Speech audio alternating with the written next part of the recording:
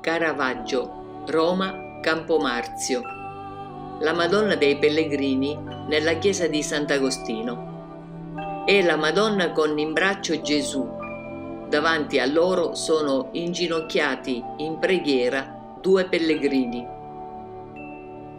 La Madonna è la madre di Gesù, ma non ha niente di ieratico. È una Madonna donna che risponde ai canoni veristi propri dello stile del Caravaggio, che era solito prendere le sue modelle dalla strada.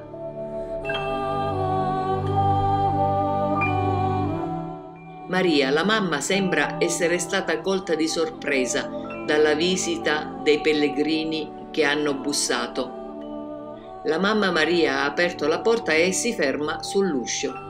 È a piedi nudi e sembra non aver fatto in tempo a vestire il bambino Gesù che tiene in braccio appoggiato su un telo. Il bambino ricambia lo sguardo dei due pellegrini, un uomo e una donna inginocchiati con le mani giunte. Tra la coppia in preghiera un bastone che sembra averli sostenuti durante il viaggio. Un viaggio lungo, come lasciano intuire i piedi sporchi del pellegrino. Personaggi reali, non irrispettosi e irriverenti del sacro, ma icona del bisogno della gente del popolo che, tra le ombre della sua quotidianità, non smette di coltivare desiderio di riscatto, di luce.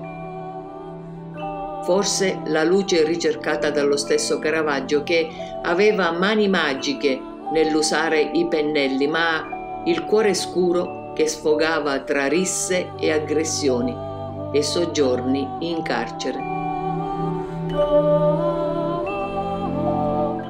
Quando Caravaggio dipinse la Madonna dei Pellegrini che vediamo nella chiesa Sant'Agostino di Roma, erano i primi anni del 1600. Pochi anni dopo, prima di morire a soli 38 anni, Michelangelo Merisi, detto Caravaggio per sfuggire alle conseguenze di un omicidio commesso, si sarebbe dato a fughe rocambolesche fuori da Roma per far perdere le sue tracce.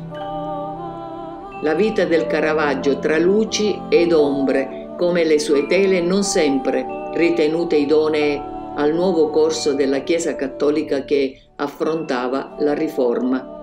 Questo ieri, non oggi.